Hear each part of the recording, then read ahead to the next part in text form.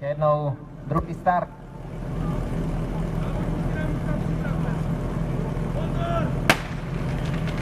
A nyní už je v pořádku a pojďme do toho.